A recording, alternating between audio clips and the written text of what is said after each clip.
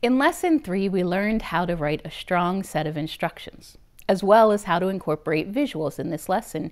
Your group will practice writing collaboratively by putting together a progress report on your instructions project. The progress report will be due by the end of this lesson, so we'll take a look at how to write progress reports. If by this point any of your group members have failed to participate or communicate with the group, please let me know. I expect to see evidence in your progress report that each member of your group has participated equally in this project. We're also going to learn about the technical communication environment, including the ethical and legal concerns relating to technical writing, the role of collaborative writing in the workplace, and the most common workplace communication tasks. And of course, don't forget that the first draft of your technical instructions will be due at the beginning of Lesson 5.